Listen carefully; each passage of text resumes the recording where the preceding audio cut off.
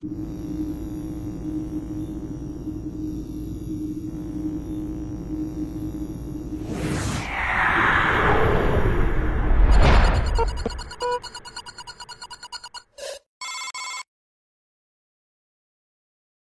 quoi? Quoi? C'est quoi? Quoi? C'est quoi? Quoi? Les frères Wachowski? Ouais. C'est eux qui ont inventé la matrice?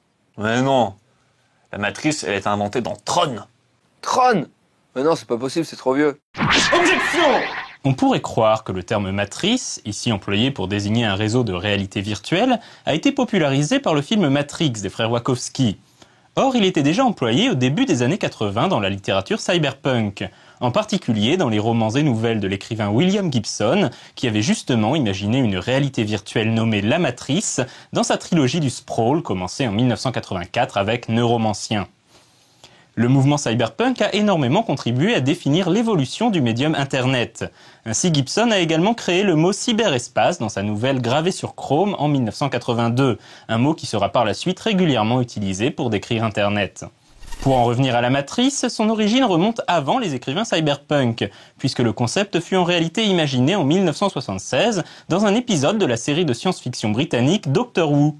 Il s'agit d'un gigantesque réseau informatique en réalité virtuelle se trouvant sur la planète Gallifrey, qui sert de base de données pour les seigneurs du temps. Évidemment, on retrouve des concepts similaires à la matrice ou au cyberespace dans des œuvres antérieures.